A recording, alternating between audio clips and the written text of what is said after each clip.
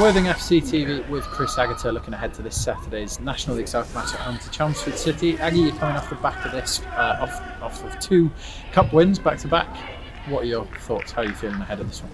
Yeah, good. Um, I think it's nine wins out of last 12, I think. Um, so yeah, we just got to keep um, keep ticking them off. Um, you know, I think with the exception of the Cheshire game, I think improvements have been moving um, performances sorry have been moving in the right direction. There's definitely been improvements in terms of performances and um, yeah the last couple of um, games in the cup have, have, been more of the same really. Um, Chichester was obviously a tough game but um, really good opposition but we another late winner and then Tuesday night I thought um, we made the, the gap in the the levels of the two teams show. I thought we were really um, professional. Um, but equally, there was enough football in there in terms of the quality to know actually that that works at National League South level as well. So, uh, yeah, no, it's um, just need to keep keep moving forwards, keep trying to improve, and and uh, again keep keep ticking off the wins. I know I've mentioned it before, but the, the squad seems like it's in a really good place as well. You've got players like Temi Babalola on Tuesday yeah. night who came, who made a really good impact, scored two goals as well. There's a lot of healthy competition for places.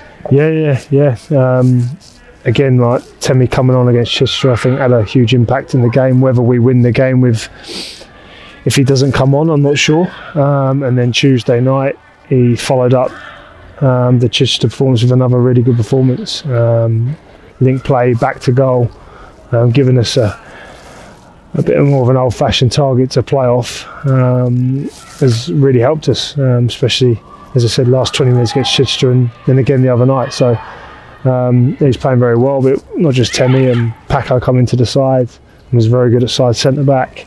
OB coming back into the team after um, obviously a run of games in the side and has come out of it and coming back in looked good. So yeah, no, just echo what you said. Really, we're um, we're happy with where we're at, and um, you know, competition for places is very healthy, and the lads are, showing the right attitude and going about it the right way. There's no um, sulking or um, bottom lips out. They're they're all um, showing the right mentality, the right attitude, and they all want to be a part of what is a, a winning team in a minute. And looking at Chelmsford, your opponents on Saturday. I'm sure you'd have watched plenty of yeah. them.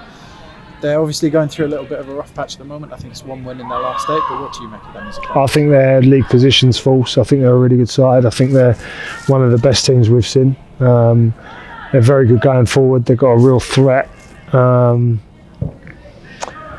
not just sort of one or two positions as well. There's you know their, their whole attacking unit is a is um, is an exciting one, and they've got a lot of quality. Um, and then they're supported by um, likes of Charlie Ruff, Alfie Bendel, these guys in deeper areas are um, again very good players and um, you know fullbacks will be aggressive, fullbacks or wingbacks depending on what they do um, in terms of formation wise. You know they're very aggressive, so they're really they're really well coached, really organised, aggressive front foot. Um, front foot side. So um, similar to Slough, I think. Um, I think um, I think their league position is is false, and I have no doubt that they will pick up. And I think we'll see that Saturday in terms of how how good a side they are. It'll be a really tough test. It it, it reminds me of the Slough game, that type of game where I think it'll be two teams on the front foot having a go, not taking a backward step, um, doing what they do, and um, you know. It, to just like, trying to throw heavy punches at each other. If it was a if it was a boxing match, I think it would be. You know, there wouldn't be many um, sort of people on the back foot. Uh, it would be front foot. It would be aggressive, and I, I think uh, it'd be an exciting game of football. I look forward to it. Looking at the team you have available, um, Ken Wills and Harrison Smith. So yeah. Ken, Ken, Wills has been away. Will he be back? Yeah, Kano's back. Um, yeah, Kano's back, and then Harrison just. Uh, more of a precaution really. Um, his his knee flared up, um, so with his uh, track record injury wise, it, it would have made sense to risk him, especially when he's been playing so well. Um, so what we didn't want to do is sort of force him out there and then potentially risk losing him for um, a prolonged period of time, especially going into a really busy Christmas period. So we sort of thought, well, with and Temi, we've got enough there.